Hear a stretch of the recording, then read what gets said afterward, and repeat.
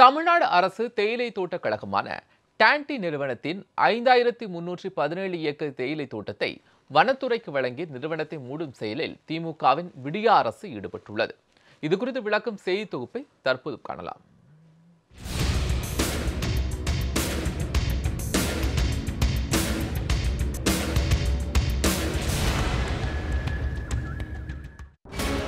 கடந்த ஆயிரத்து எட்நூற்று இருபத்தி மூன்றாம் ஆண்டு அப்போது இந்தியாவை ஆண்ட ஆங்கிலேயர்கள் இலங்கையில் தேயிலை காஃபி பயிர்களை பயிரிட தமிழகத்தின் பல்வேறு பகுதிகளிலிருந்து ஒன்பது லட்சத்து எழுபத்தைந்தாயிரம் பேரை இலங்கைக்கு அழைத்துச் சென்று அங்கு பணிபுரிய வைத்தனர்.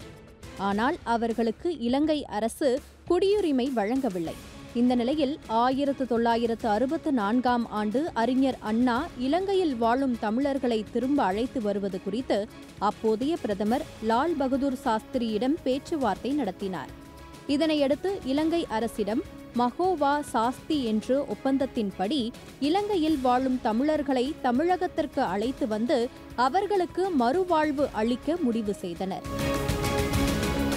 அதன்படி அவர்களுக்கு தெரிந்த தொழிலான தேயிலை விவசாயம் செய்ய நீலகிரி மாவட்டத்தில் கூடலூர் குன்னூர் பந்தலூர் கோத்தகிரி மற்றும் வால்பாறை பகுதியில் பதினோராயிரம் ஏக்கர் நிலத்தை தேயிலை தோட்டமாக உருவாக்கப்பட்டது. அதற்கு தமிழக அரசு தேயிலை தோட்ட நிறுவனம் என பெயர் வைக்கப்பட்டது.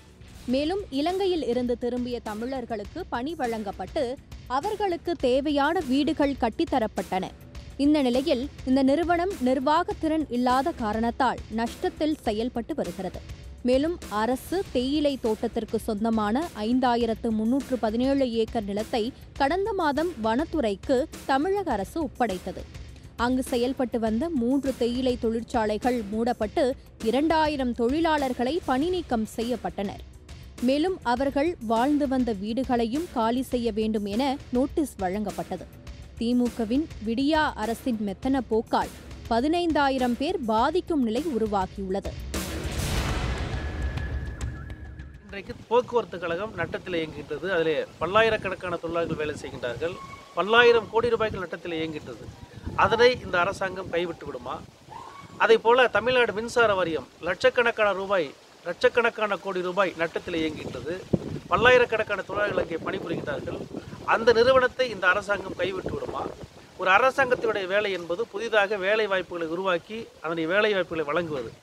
ஆனால் பல்லாயிரம் தொழிலாளர்களுக்கு வேலை வாய்ப்பை வழங்கிக் கொண்டிருந்த நிறுவனத்தை சுமார் ஐம்பது ஆண்டு காலம் பல கோடி ரூபாய் அரசு நிதியை பயன்படுத்தி உருவாக்கிய இந்த நிறுவனத்தை லட்சக்கணக்கான தொழிலாளர்களுடைய வியர்வை சிந்தி உருவாக்கிய இந்த நிர்வாகத்தை தேயிலை தோட்டங்களை வனத்துறை வசம் ஒப்படைக்கின்ற இந்த அரசினுடைய முடிவு என்பது கண்மூடித்தனமான அதிகாரிகளுடைய ஆலோசனை கண்மூடித்தனமாக செயல்படுத்துகின்ற ஒரு முடிவாகும். இதனால் மக்களுடைய அதிருப்திக்கு இந்த அரசாங்கம் ஆளாக வேண்டியதோடு பல்லாயிரக்கணக்கான மக்களுடைய வாழ்வாதாரம் பாதிக்கப்படும்.